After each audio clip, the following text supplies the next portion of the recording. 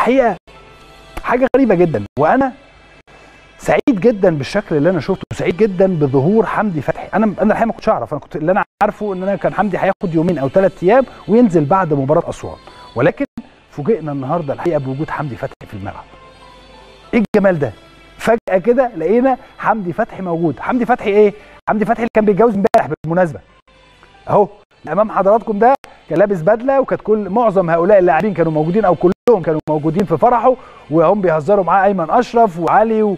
ومحمود وربيعة وكل الناس بتهزر معاه لأن آه المفروض هو دلوقتي قاعد في في مكان على البحر وقاعد بيتفسح ومبسوط وشهر عسل بقى لكن هو الحقيقة من الواضح أن كان هناك اتفاق على إنه يتم يتم الحفله امبارح والنهارده يكون متواجد في التمرين فالحقيقة كانت مفاجأة للجميع. وجود حمدي فتحي في تمرين اليوم. عشان بس حضراتكم تبقوا عارفين قد إيه الناس مركزة في المباريات الناس عايزة تكسب الناس عايزة ما عندهاش أي مشكلة في أي حاجة خالص غير شيء واحد فقط وهو إن إحنا إزاي نكسب النادي الأهلي الدوري رقم 43 وهنفضل نقول الكلام ده كتير.